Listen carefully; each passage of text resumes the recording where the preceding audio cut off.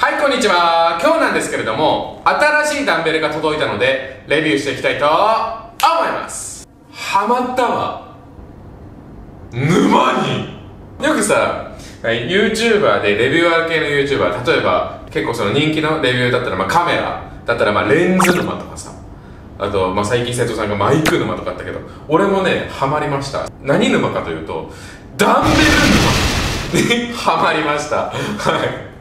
まさかのダンベル沼あのまあ新しい店舗を作るっていう話をしていた際にいろんなダンベルを探していたんですよ僕は今までパワーブロックを押していたんですけれどもちょっとね、違うダンベルを試してみたくて、買ってみようっていうことなので、えー、購入いたしました。えー、それで今日その商品が届いたので、レビューしていきたいと思います。ということで、こちら、なんて読むのかニューノって読むのかな？フレックスベルでございます。これね、やたら重いし、でけえ。宅配会社殺しだね。やばい。えー、フレックスベル。これ、えーと、可変式のダンベルなんですけれどもこ今までとちょっと違うタイプで、えー、結構おしゃれな、えー、可変式ダンベルです、まあ、今回はちょっとこれを新しい店舗に置こうということで購入いたしましたこちらは確か 20kg と 32kg の2つのラインナップなんですけれども今回はこちら 32kg 購入いたしました。いやだから2つで 64kg だから本当に頑張ったよ本当に宅配のおじさんは。ありがとう。ありがとう。じゃあ早速、えー、開けていきたいと思います。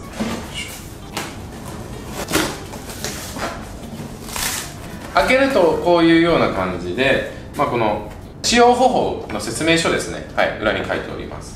非常にねやっぱり薄い海外の説明書は非常にシンプルです、はい、でこちらと。あやばい。あやばいあボロンでリユースでまあこんな感じでちゃんとスポンジにジャストフィットして叩いてます。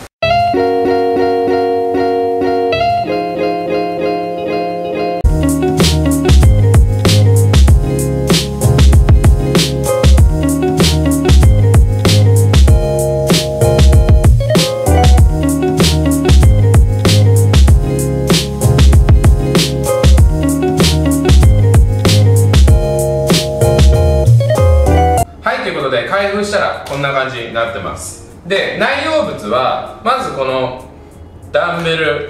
でダンベルを床に置いてもいいダンベルのホルダー。とあとは説明書ですね。これは1つにあの1枚入ってました。説明書もうすごく薄いペラペラの、えー、B5 ぐらいの紙です。はい。あとは使用上のチューはい。すごくねやっぱりねシンプルだね海外の説明書っていうのをじゃあちょっと近くで見ていきたいと思います。はい、えー、こんな感じですね、全体像は。はい、で、それで、パッと見、えっ、ー、と、俺の感じだと、可変式ダンベルの 41kg、パワーブロックの 41kg と似てる、同じぐらいの大きさだなと思いました。はい。で、今、41kg のパワーブロックはないんですけれども、まあ、22.5kg のパワーブロックがあるので、まあ、それと比較すると、はい、こんな感じで、えー、だいぶ大きいですね。はい。多分可変式ダンベルの 41kg と全長的には同じ大きさだと思います。はい。パワーブロックはここのグリップの部分実は真ん中がねちょっと膨らんでる感じの作りになってます。はい。今回このフレックスベルに関してはここはフラットな作りです。はい。ここがちょっと膨らんではいなくて円柱になってます。これなんですけれどもまずダンベルを取るとこういうような感じでダンベルを置くホルダーがあってこれにダンベルを置くというような感じです。はい。でこのホルダーにはフレックスベル32注意っていうのが書いてありますけどこれはステッカーですね、はい、透明なステッカーが貼っている感じです。はい。でここ注目してほしいんですけれども重量が、えー、書いております。フレックスベルはここのダンベルをこう回していくことによって重量の変更ができます。ここのグリップのところで。で今は 2kg はい。2kg が取れる。で左に回すと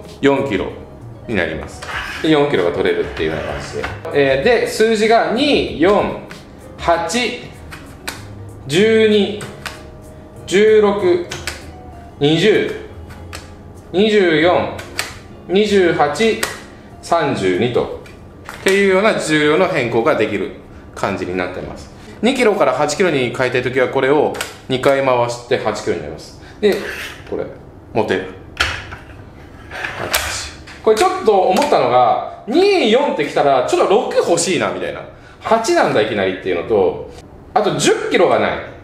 1 2キロになっちゃいます。はい。やっぱり可変式ダンベルってパワーブロックもそうなんだけどえっと、重量が1キロずつ変更できるわけではないので4キロずつ変わっていくような感じですね。これは。はい。4キロずつ変わっていくような感じなのでそれはもう可変式ダンベル大体そんな感じの作りになっております。はい。これいいよね。えっ、とパワーブロックはこうピン刺すタイプなんだけれどもこれを回してこう持つだけっていうね。これ楽。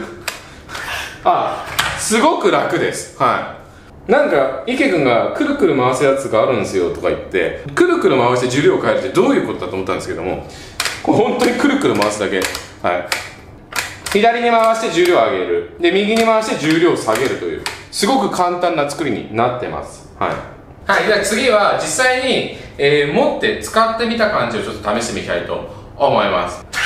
はい。でこれ4キロです。で4キロでじゃあまずサイドレイズとかしてみますか。フロントレイズ。あすいません。サイドレイズ。うん。グリップなんですけれどもこれがねパワーブロックよりも握りやすい。でこれあのローレット加工になってるんですよ。ローレット加工になっているんですけれどもあのね全然痛くもないし握りやすいです。はい。パワーブロックって本当に中心がねちょっと膨らんでるんですけれどもこれはずっとフラットなんで普通のあのジムにあるイバンコとかそういうダンベルと同じような、えー、グリップの感覚です。はい。じゃあ次は、えー、マックスの3 2キロを使ってダンベルプレスやっていきたいと思います。はい。えっ、ー、とスタートポジションはえー、こちらプレートが丸くて平らで安定しているのでスタートポジションは持ってくるのがすごく楽です。はい。じゃあいきます。